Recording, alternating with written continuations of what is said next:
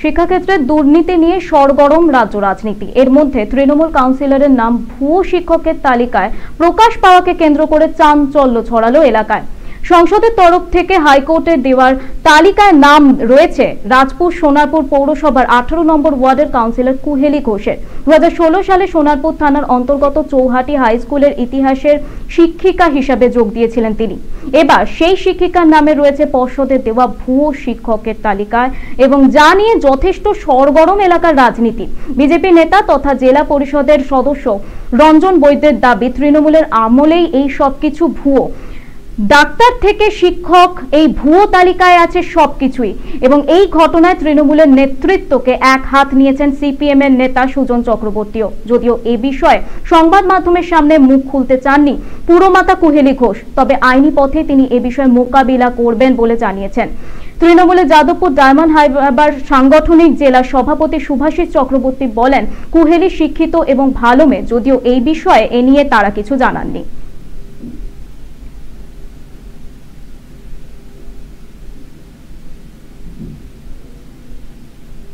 মধ্যে পর্ষদ থেকে তিনবার, না, পর্ষদ থেকে নয়, আমাদের ডিআই অফ স্কুল সাউথ চব্বিশ পরগনা থেকে ইমেলে আমাদের এখানে তিনবার জানতে চাওয়া হয়েছিল একটা ফরম্যাট দিয়ে। সেই ফরম্যাট ফিল করে দিয়েছি। এবং শুধু তাই নয় কোয়েলি ঘোষের নামে যে ফরম্যাটটা ফিল করতে দিয়ে ফিল এবং সেই সাথে সাথে তার রেকমেন্ডেশন লেটার এবং West Bengal board of secondary এডুকেশনের যে অ্যাপ্রুভাল লেটার এবং জয়েনিং লেটার স্কুলে যে জয়েনিং করেছেন সেই জয়েনিং লেটারে তার হার্ড কপিও আমাদের ডিআই অফিস সাউথ চব্বিশ পরগনা অফিসে জমা দিতে হয়েছে। উনি কি মানে পুরমাতা রাজপুর সোনারপুর পুরসভার কাউন্সিলর? হ্যাঁ উনি রাজপুর সোনারপুর পৌরসভার পৌর মাতা গোটা রাজ্য জুড়ে ভুয়ো ভুয়ো চিকিৎসক ভুয়ো আইএস ভুয়ো আইপিএস ভুয়ো করোনা ভ্যাকসিন সবই হয়েছে।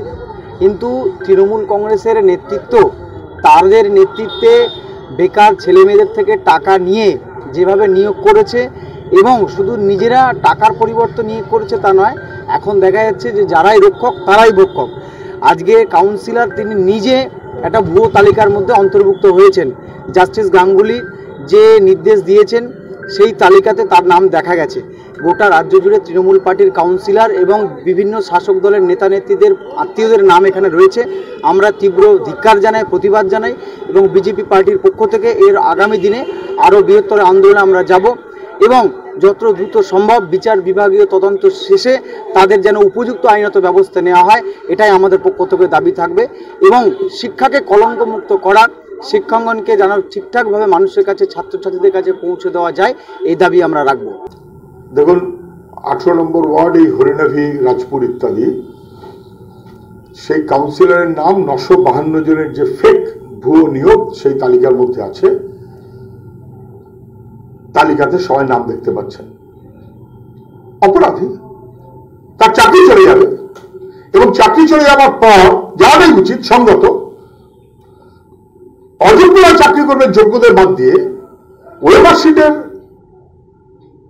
ফাঁকা রেখে চাকরিতে জয়েন করবে পরীক্ষা ফেল করে পাশ করে চাকরিতে জয়েন করবে এই জিনিস চলতে পারে না। এদের চাকরি যেমন যেতে হবে এরা কাকে টাকা দিল? কে টাকা দিল কে টাকার বিনিময়ে চাকরির ব্যবস্থা করল? অর্গানাইজ ক্রাইম কে এই ক্রাইমটা অর্গানাইজ করালো? তাদেরও বিরুদ্ধে শাস্তির ব্যবস্থা দিতে হবে। এর কোনো ভিন্নতা থাকতে পারে না। ভুয়ো তালিকায়? ভুয়ো শিক্ষকের যে তালিকা প্রকাশ আমাদের জানা নেই প্রথম শুনলাম। ও তো শিক্ষিত মহিলা। ও তো এম এ পাস আমি জানি না ওর ভুয়ো সিবিআইয়ের পক্ষ থেকে হাইকোর্টের কাছে যে লিস্ট দেওয়া হয়েছে তাতে তার নাম রয়েছে এবং মধ্যশিক্ষা পর্ষদের যে ওয়েবসাইট সেখানেও কিন্তু তার নাম রয়েছে। আমার জানা নেই যে ভুয়ো ভুয়ো হবে কি শিক্ষিত মেয়ে ও তো এম এ পাস আমি জানি। এবং ঘটনা হচ্ছে যে শিক্ষাগত যোগ্যতা শুধু না খুব বুদ্ধিমতী হ্যাঁ। অনেকদিন আগে চাকরি পেয়েছে।